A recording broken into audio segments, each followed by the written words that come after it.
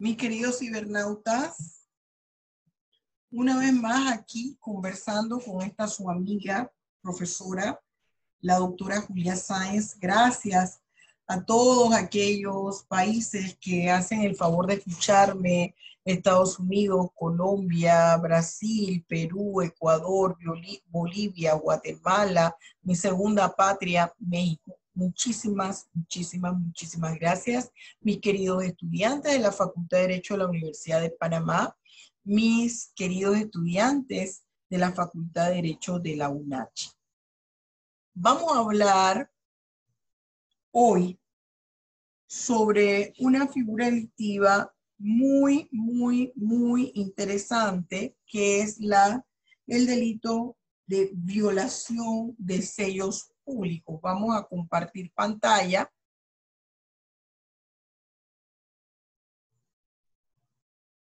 Vamos a tratar de hacer una cápsula educativa breve, violación de los sellos públicos.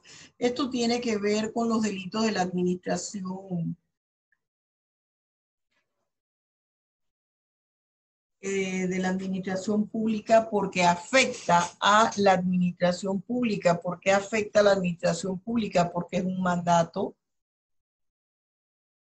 que emite un representante de la administración pública, un servidor público, y se violenta, no se cumple, entonces afecta a la administración pública. Vamos a ver qué es lo que nos dice la normativa panameña, penal panameña, para que podamos luego hacer una comparación con el derecho internacional y con el derecho comparado.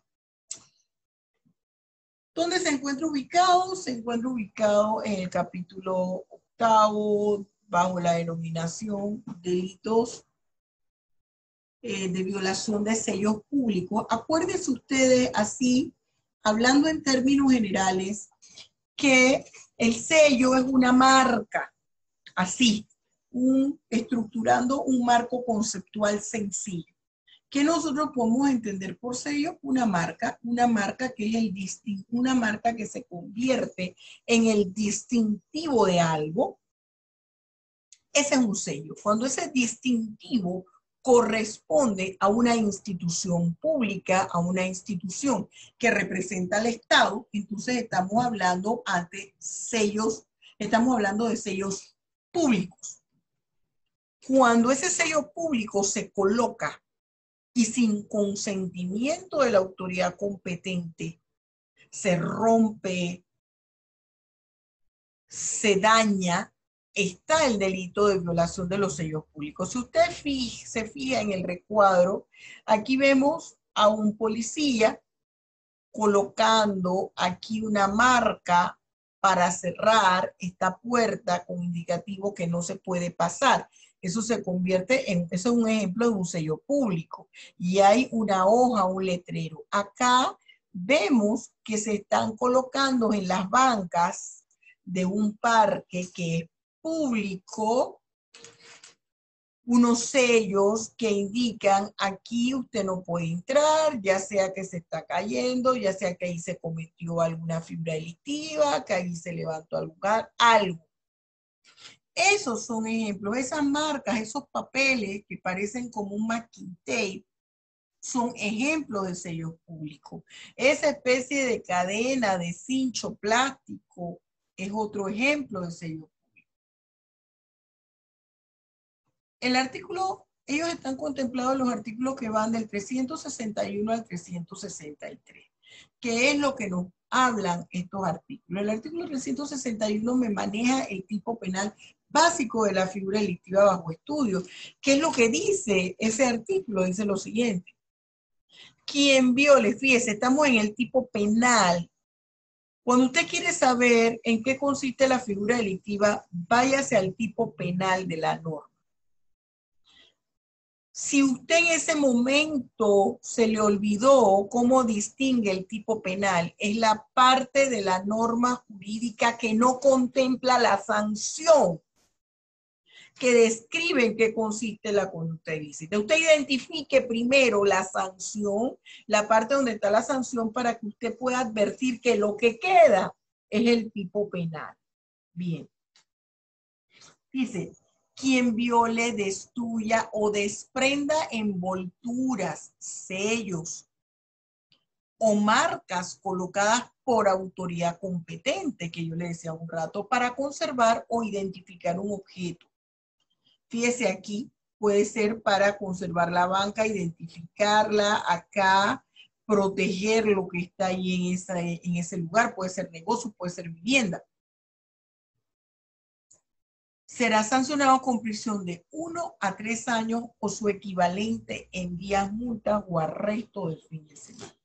Y aquí me hablan de un agravante específico en la segunda parte de esta norma, cuando me dice si el autor tiene la obligación de custodiarlos o conservarlos, la sanción aumentará en la mitad de la pena. Bien, entonces, nosotros tenemos aquí ese tipo penal básico, violar es que irrumpa abruptamente, destruir que lo rompa, lo dañe o quite las envolturas del lugar y entre. El 362 me habla quien sustraiga, oculte, cambie, destruya o inutilice objetos, registros o documentos que hayan sido confiados a la custodia de un funcionario o de otras personas destinados a servir de prueba ante autoridad competente que sustancia un proceso. Aquí la prisión será de dos a cuatro años. A usted le han dado en custodia cosas que se requiere en un proceso legal, ya sea penal o de cualquier otra naturaleza y usted lo oculta, usted lo sustrae, usted lo destruye. Puede ser un objeto, puede ser el registro, un libro donde va el registro de esos objetos o documentos que acreditan ese objeto. Esa es otra forma de violar los sellos públicos. Y el artículo 363 que nos habla, quien sustraiga, suprima, destruya o altere algún instrumento, acta, documento que pertenezca o repose bajo la custodia de una oficina. Será sancionado con prisión de seis meses a dos años o su equivalente en día multa de reto de fin de semana.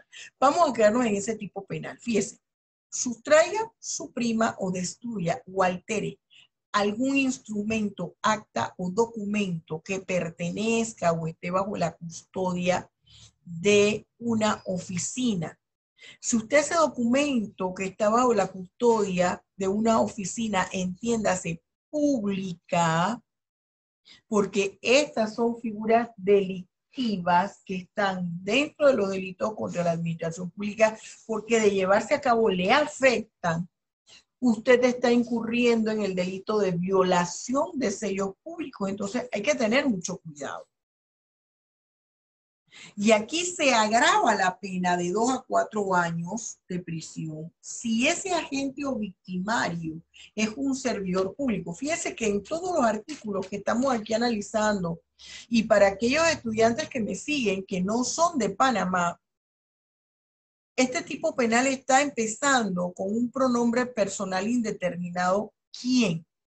Esto me está indicando la característica del sujeto activo agente o victimario, me está diciendo que puede ser cualquier persona, porque aquí es un pronombre personal indeterminado. Y se va a constituir en un agravante cuando ese sujeto activo, ese agente o victimario, deja de ser cualquier persona, es decir, se reviste de características específicas, ¿cuál? La condición de servidor público. Y aquí me habla en una segunda parte, si el perjuicio causado ha sido leve o el autor ha restituido íntegro, no en partes, es decir, en su totalidad, el instrumento, el acta o el documento, Sin haber derivado provecho de esto, la sanción será reducida hasta las tres cuartas partes.